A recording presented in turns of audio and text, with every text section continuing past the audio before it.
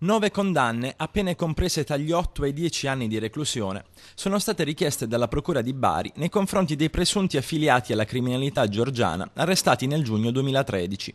Per loro, i PM Marcello Querci e Patrizia Rautis hanno chiesto nelle scorse settimane il giudizio immediato per i reati di associazione mafiosa transnazionale finalizzata ai furti in appartamento, estorsione, riciclaggio, corruzione e uso di documenti falsi, con l'aggravante dell'uso delle armi. La pena più alta, 10 anni, è stata chiesta per il presunto capo della banda, noto come Django, catturato nei mesi scorsi in Ungheria, mentre 8 anni e 8 mesi è la pena richiesta per il gestore e l'organizzatore delle batterie di ladri.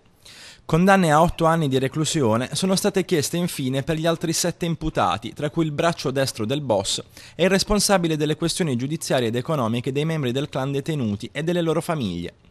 L'indagine della squadra mobile della questura di Bari è scattata nel gennaio 2012 a seguito dell'omicidio di Churaz Rezav, il cittadino georgiano ucciso con quattro colpi di pistola nella centralissima piazza Aldomoro, davanti alla stazione centrale. L'uomo era ritenuto vicino al clan Kutaisi, del quale fanno parte anche gli imputati, da tempo in lotta con il clan Rustavi per il controllo dei traffici commerciali con la Georgia. Il processo si sta celebrando con rito abbreviato davanti al GUP del Tribunale di Bari Michele Parisi.